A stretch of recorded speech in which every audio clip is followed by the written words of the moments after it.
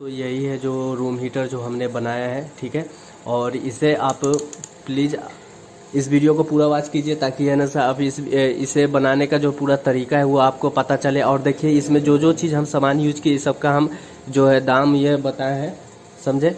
इसमें हम बता रखे हैं तो आप भी इस तरह से बनाइए। और ये दोस्तों बहुत ही अच्छा है, देखिए, ऊपर हमने बोर्ड भी लगाया है, और ये जो इधर जो है चार हमने, जो गर्म होने के लिए चार चार सौ, चार चार सौ वाट का हमने इसमें ट्यूब यूज़ ट्यूब को यूज़ किया है, और इसके बाद इधर एमसील लगाया है, और उसके बाद इधर जो है, ये देखिए, इधर हमने फ़ैन भी लगाया है, इधर जो है हमने फ़ैन भी लगाया है, इसलिए लगाया है कि, ताकि जो है हमारा जो गर्म हवा जो है, वो बाहर की तरफ़ फेंके ठीक है?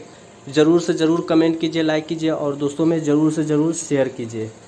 तो पूरा वॉच कीजिए इस वीडियो को।